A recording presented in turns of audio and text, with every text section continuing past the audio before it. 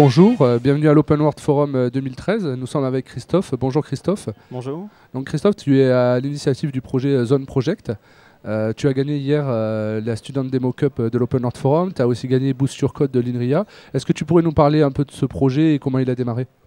Oui, alors j'ai développé le projet alors que j'étais encore étudiant. J'avais un problème. C'est à chaque fois que je voulais accéder aux news, j'étais obligé de passer par Google News. Et j'avais besoin d'une solution qui soit open source, qui me permette d'afficher toutes ces news et d'essayer de faire un peu de filtrage sur l'information. Et donc le projet Zone Project est vraiment venu de là. C'est je voulais filtrer l'info pour moi et avoir une solution qui fonctionne et qui soit open source. Très bien. Et aujourd'hui, tu en es où de ce projet? Alors déjà, est-ce que tu as fait un choix technique? Est-ce que tu as choisi comme langage Où tu en es aujourd'hui de ce projet?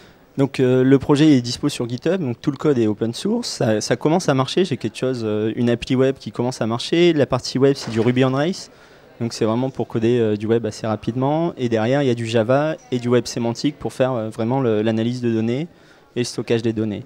Après où j'en suis, j'ai quelque chose qui commence à marcher. Donc si vous allez sur la plateforme d'expérimentation sur reador.net, reador.net, vous commencez à tester euh, le filtrage, vous pouvez récupérer vos tweets pour euh, filtrer l'information, générer des flux RSS.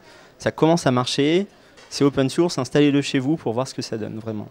Très bien. Et aujourd'hui, si tu avais une demande, si tu avais des gens qui pouvaient venir t'aider, te filer un coup de main, ça serait sur quoi en particulier Sur, euh, vraiment sur le code, il y a énormément de choses à faire. Ça serait par exemple coder un plugin pour télécharger les infos sur Facebook, sur d'autres systèmes de- d'information, coder des plugins pour faire de la notation de texte. Il y a plein de choses à faire. Si vous êtes intéressé, venez vraiment voir euh, donc sur, le, sur le compte GitHub et proposer ce que vous avez envie de faire. Le but, c'est se plugger au plus de sources possibles d'informations. Donc si vous avez envie de développer là-dessus, n'hésitez pas. Très bien, ben, merci. Euh, donc tu as donné tous les sites, donc c'est Reader. R-E... reador.net pour la plateforme d'expérimentation. Donc c'est gratuit, allez-y, vous pouvez vous inscrire et télécharger votre timeline et vos sources d'infos. Et le, le code source est sur zone-project.org. Très bien, ben, merci beaucoup Christophe Merci. et bon, bonne continuation pour ton projet. Merci.